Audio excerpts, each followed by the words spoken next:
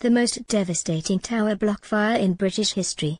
The documentary was made up of footage made over the course of one year, with filming starting on the day after the fire. The powerful film drew video content from hundreds of hours of interviews and social media content and featured intimate accounts from many of the residents who survived the horrific fire. Lorraine Beadle, who was one of the very first to move into Grenfell Tower back in 1975, gave her first-hand account of that night and the many months after the fire.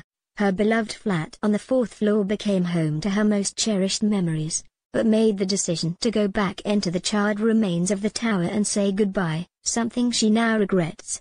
The documentary also focused on Prime Minister Theresa May and Kensington Council leader Elizabeth Campbell. Heartbreaking all over again listening to the horror of hashtag Grenfell again right now on BBC One Grenfell documentary viewer it also paid tribute to the 72 people who died in the inferno.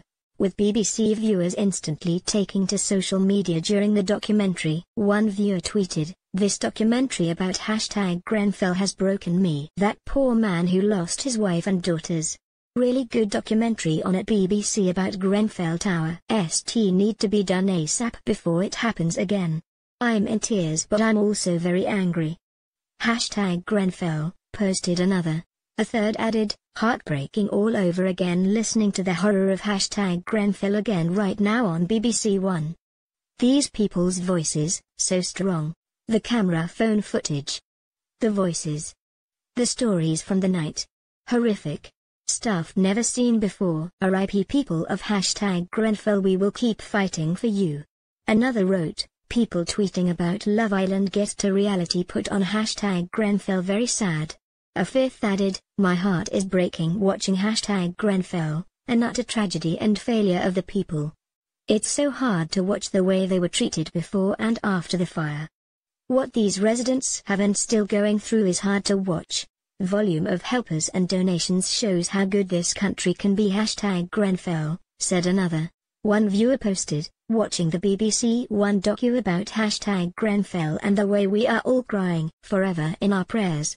Watching at BBC hashtag Grenfell not stopped crying yet honestly breaks my heart. Still remember waking up and trying to get to work and seeing the devastation. I still think of the fallen each morning I head to work and pass the building, said another. It comes as the BBC's renovation program DIY SOS today tweeted an appeal for help to build a brand new multi-use community space and boxing club for the Grenfell community. The show posted, Electricians of London. Can you help us this week to complete the community center for hashtag Grenfell special build? Please email us at diysos at BBC UK if you can help. Thank you in advance. For support, visit BBC Co. Grenfell is available to watch on the BBC iPlayer now. UK slash action line or phone 0800 566 Go.